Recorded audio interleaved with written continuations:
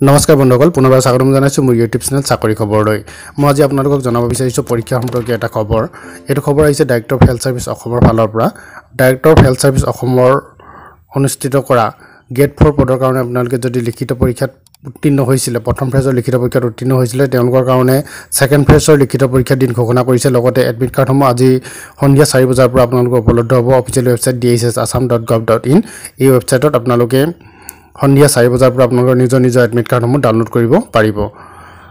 এক্সামটো হ'ব এক তিনি দুহেজাৰ বিছ তাৰিখে দেওবাৰে হ'ব গুৱাহাটীত হ'ব।